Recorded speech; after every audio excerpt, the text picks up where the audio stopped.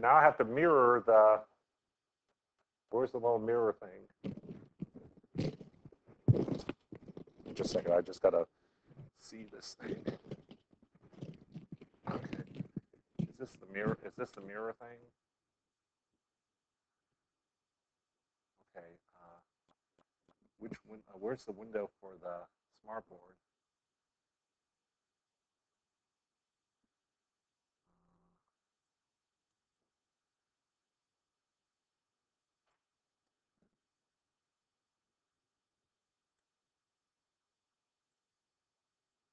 Good. Now I'm gonna go. Okay, great. All right. oh gosh, please.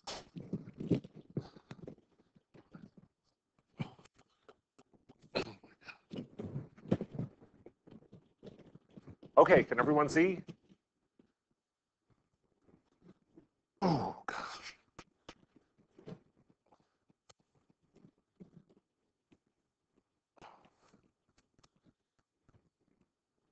Okay, let's see.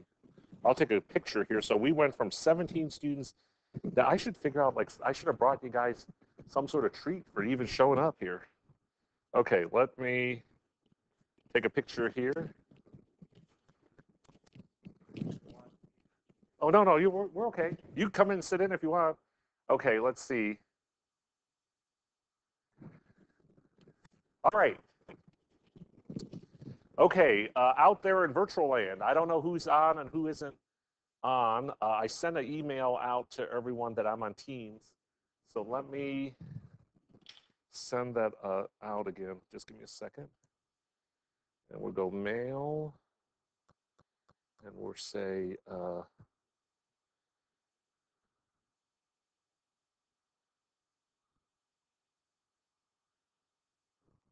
just give me a second here.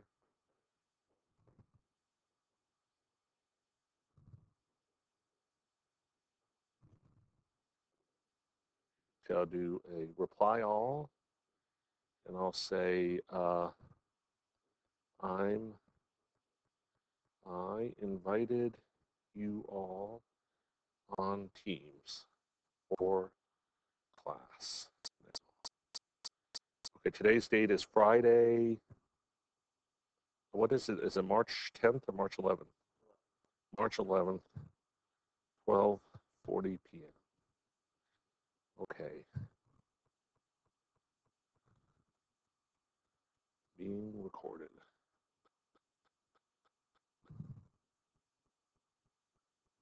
Okay, you guys out there in virtual land, you can hear me?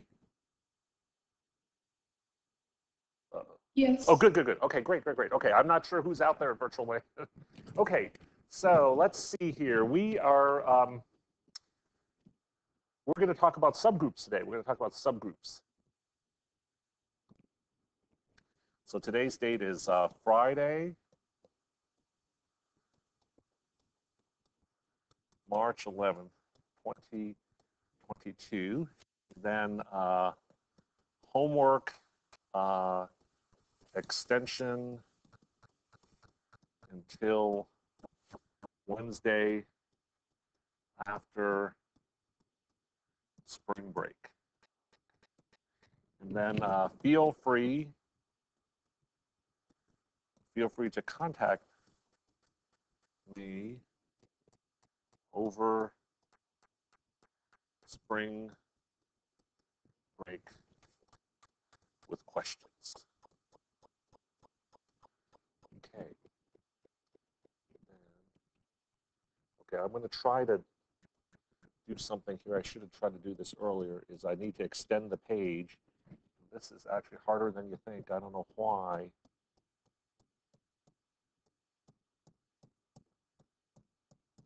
Just okay. All right great.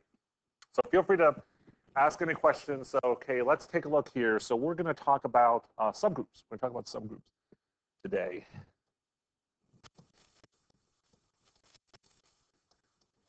So we're going to say um, let me make sure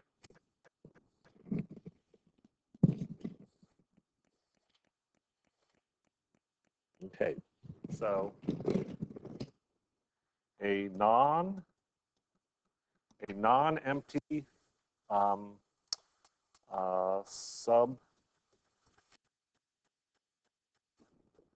of a group G is said to be a subgroup.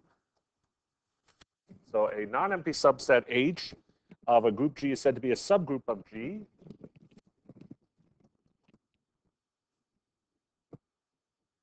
If um, if under if under the uh, product of G is itself a group. Okay, so one of the key things to mention here is, is that the operation stays the same. So operation, so you can't just take a subset and then apply different operations. So for instance, I can't say, um, can't say uh, uh, the set of real numbers um, under addition, but then look at the subset of positive real numbers under multiplication. That's not a subgroup. So, so um, note the operation in H is the same in G. So we cannot do this. A G is equal to um, a set of real numbers under addition, and H is equal to uh, um, positive reals under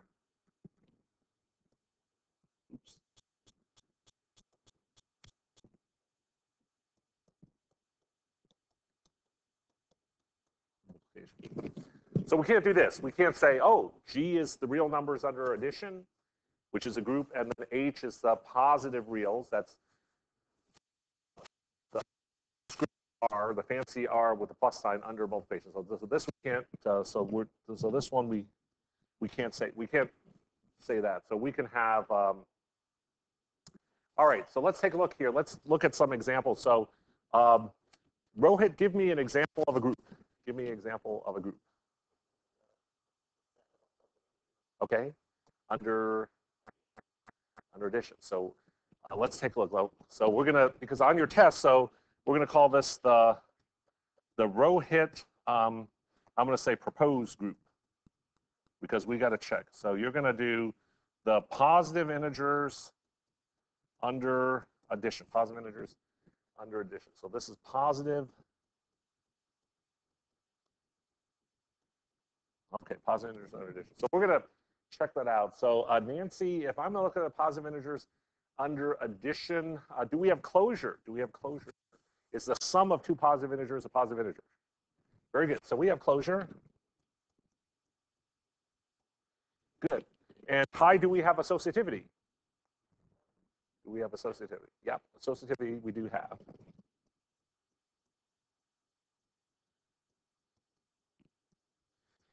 the reason you could say that with a lot of confidence is because the real one of the properties of the real numbers is the associative property applies to the real numbers, and the set of positive integers is a subset, is a subset of the real numbers, and associativity still applies. You know, so that's that's this. That's a plus b plus c is equal to, oops,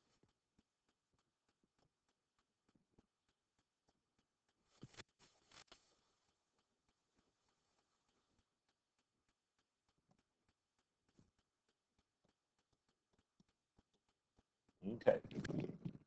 How about Rohit identity? Well, you have to be careful because zero is not considered positive. Zero is not considered positive. So, uh, so positive integers is one, two, three, four, five. So you would have to say non-negative, non-negative integers, non-negative integers. Um, so then it would have identity. So identity here doesn't have But let's suppose Rohit, we corrected this and said non-negative integers. What about inverse, Nancy? If if he if we did non-negative integers under addition, what would the inverse of one be?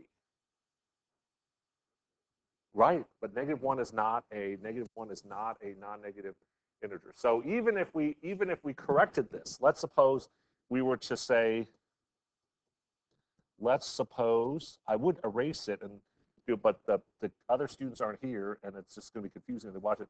So let's suppose z. Uh, um, oops. Let's say we're going to do. Uh,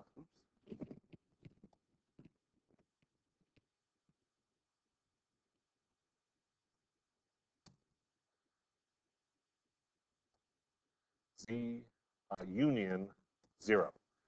So we go the inner uh, z plus, z plus union 0 under addition. The still, the identity would be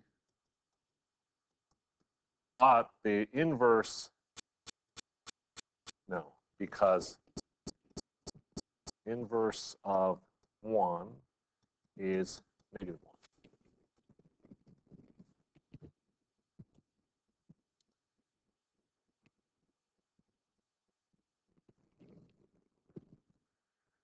okay, uh, we can't do that. So we would have to say, we would have to kind of correct, let's see, Nancy, what would, how would we kind of fix this thing up to make it a group? So uh, the positive integers under addition doesn't work. The non-negative integers under addition does not work, but something would work.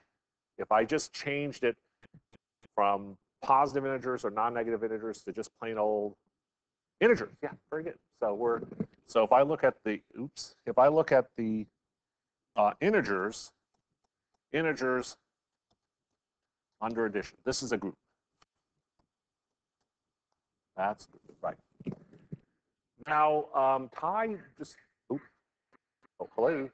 Oh, okay. Um, so Ty, give me a thought here. Uh, make sure I didn't get any emails that said, because sometimes somebody will say emails, I can't get it. Okay. Um, uh, Ty, how, what would be a subgroup of be a subgroup of the integers under addition. You just make a guess, you make a guess. So maybe instead of just thinking in terms of positive, negative, I could think it in terms of what do we usually do with numbers? Like we, two, four, six, eight, even, right? So we can do the, let's look at the evens. Let's look at, this is how we write evens. So we'll look at uh, e, uh, under we'll look at the even. So this is this means evens. Right. So let's look at the evens under addition. Let's look at the evens under addition. So Rohit, um, do we have closure? Is the sum of two even numbers an even number? Yes. So closure, yes. Good. And uh, Nancy, what about associative property? Yes.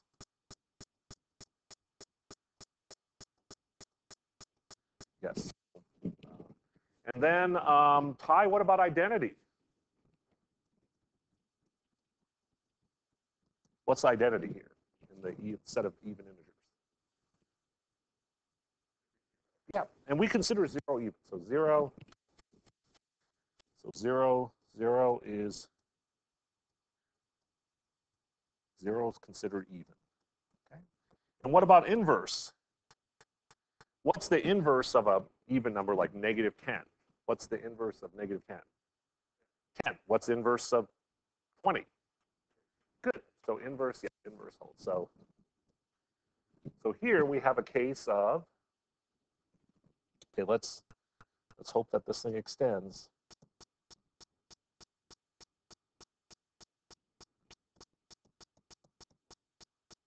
Oh, good. You know, I don't know why I have to hit it in the exact spot. Okay, so here we got uh, G is equal to uh, integers under addition, and H is equal to uh, the evens. Evens under addition. Very good. So this is example example of group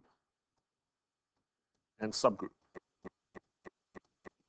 Now, every group has a particular subgroup that's really super duper boring, super duper boring. So do you might you be able to guess what that group is? It's only one element. It's only, so this group has a subgroup that is considered very um, the word begins with T. Like uh, some people like to use this word to say it's very simple. Like that's really boneheaded. It's trivial, right? Trivial subgroup. So those we have the trivial. The trivial subgroup is simply just zero under addition. So every group has a um, trivial subgroup. Every group has a trivial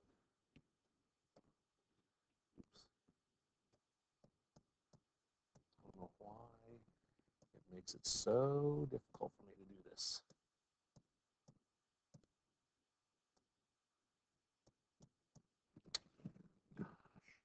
Okay, hold on. I have to like see it's not calibrated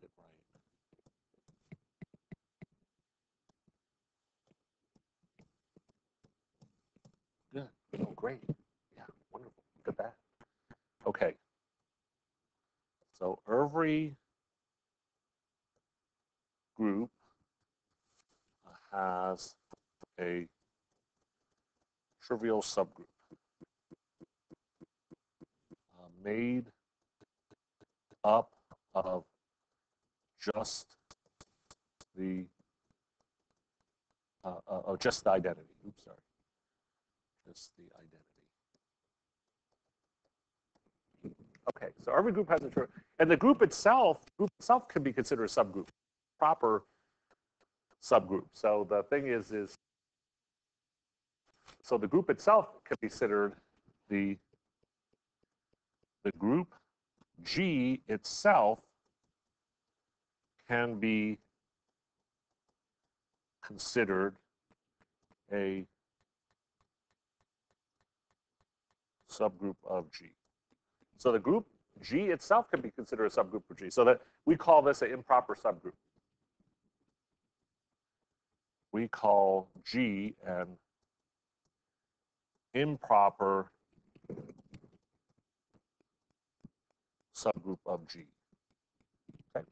Now let's hope that uh, let's uh, let's hope that uh, please extend. Please extend. Oh my gosh, how did I do that? Okay.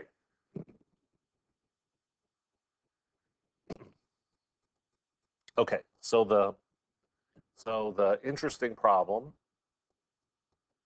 the interesting problem is given group given group G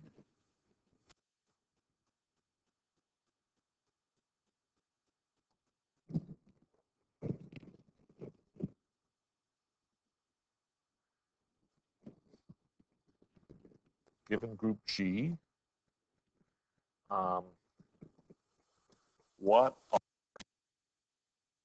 proper non-trivial subgroups. So given group G, what are the proper non-trivial um, subgroups? And uh, um, Lagrange's theorem, which we're going to prove,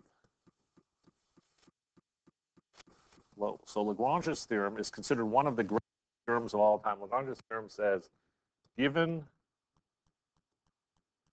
group G and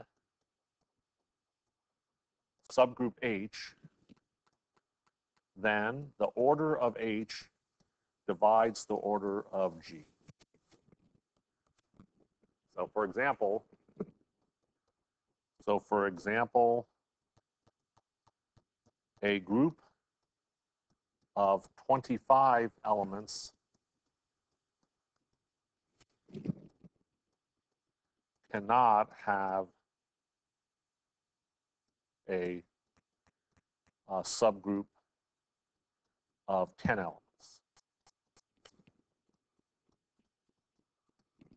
So if I give you a group of 25 elements, it cannot have a subgroup of 10 elements. So if you're doing a true false question on the test, and I say that a group of 25 elements can have a subgroup of 20, 10 elements, you would say false. That can't be true because the order of a subgroup has to divide the order of a group. And then we'll do the proof of that, and that will be on your test too. So we're not going to do the proof today. Okay. Oh, great. Look at that. I got it the first time. Good. I found out I had to hit it right below that. Okay. So let me give you a lemma. Let me give you a lemma here. And we won't prove this lemma. We're not proving a lemma. Oops.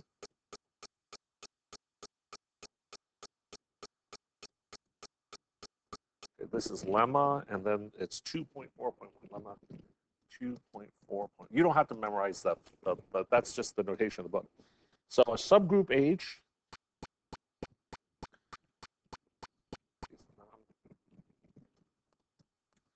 a non-empty subset H of a group G is a non-empty subset H of a group G is a subgroup of G if and only if. That means both directions. So when, when you see if and only if, that means both the conditional statement and the converse are true. If and only if, two conditions. Uh, one, A and B and H, oops.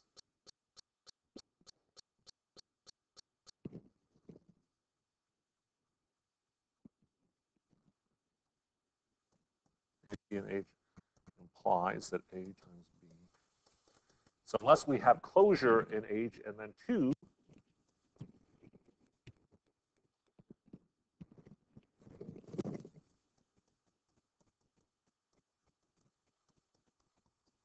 Okay. So very important lemma. Non, if I have a non-empty subset of a group G, I have a non-empty subset H of a group G, it's a subgroup of G if and only if two conditions hold. That A and B and H implies that A time, that the product of A and B is H, that's closure, and inverse. So we have closure,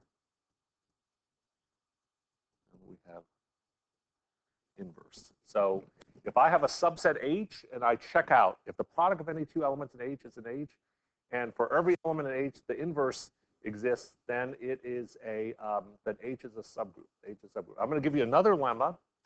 Now, so this have this is true all the time. This is true all the time. The next one I'm going to give is only true under some conditions. And that's going to conclude our um, that is going to conclude our lecture today, and we won't go any further. So we're going to do uh, lemma 2.4.2.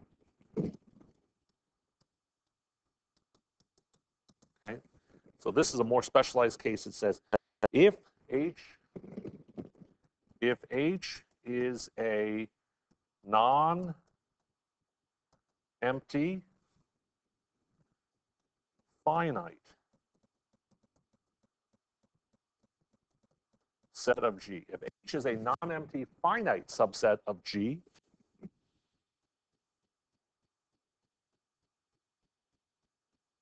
and H is closed under the operation of G, then H is a subgroup of G. Okay, so the second lemma basically says if H is a non-empty but finite subset, that's the key point, it's finite, then we only need closure. We only need closure, and that's enough to show that H is a subgroup of G. So in general, whether H is a infinite group or a, or a finite group, there's two conditions that have to be satisfied for a subset to be a subgroup, that there's closure and existence of inverse. However, if H is finite, if it's a finite subset, all we need is just the um, closure. We just need closure. So, okay, so let's just look at some examples here.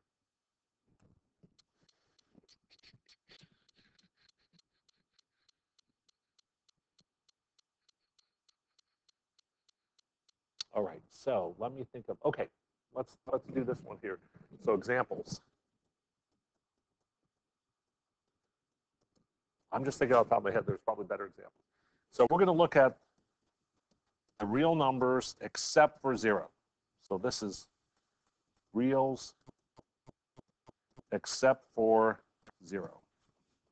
Under multiplication. So I'm going to look at the reals except for zero under multiplication, under uh, multiplication.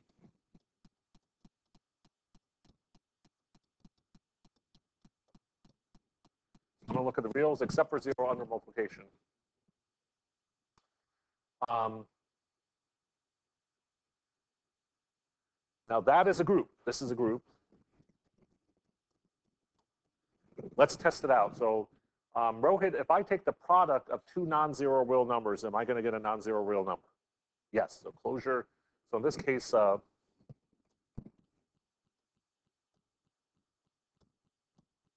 look at that. This I got to mention it to the smartboard people. There's some, some defect here. So we got uh, so group. So we're going to test out group closure. Yes.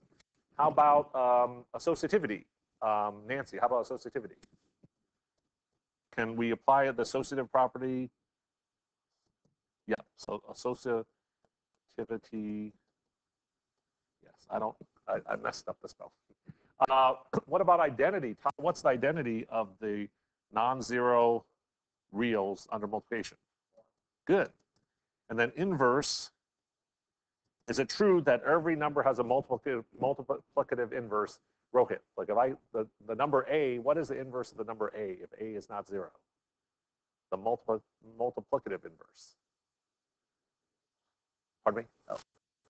1 over A, right? So inverse, inverse. So A inverse is just simply 1 over A.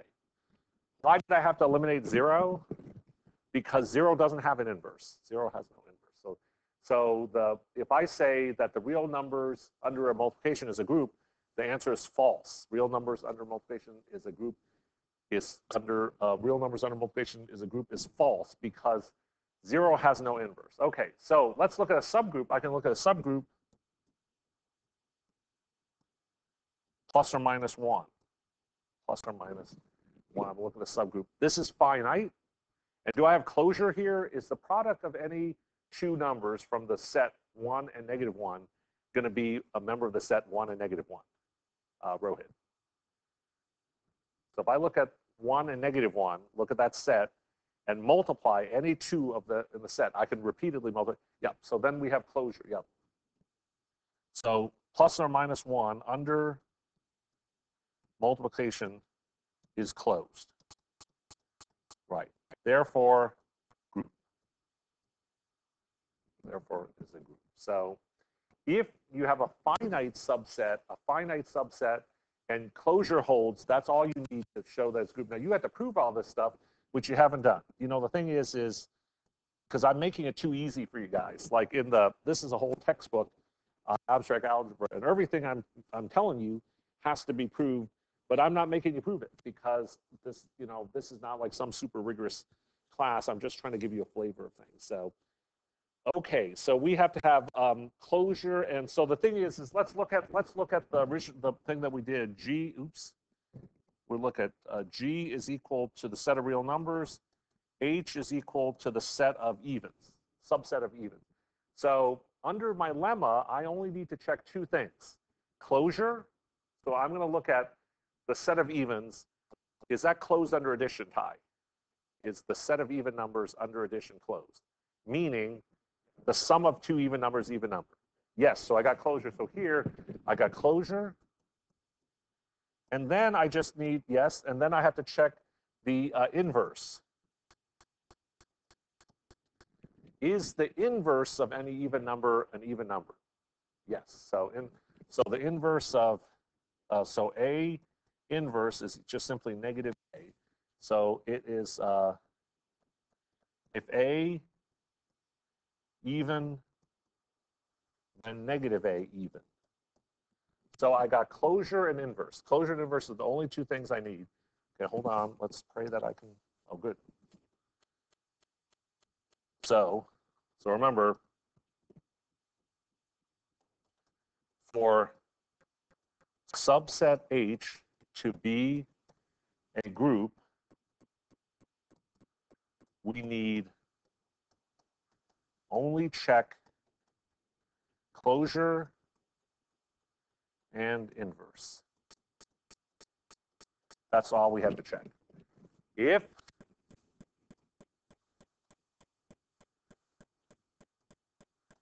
if H is finite, we need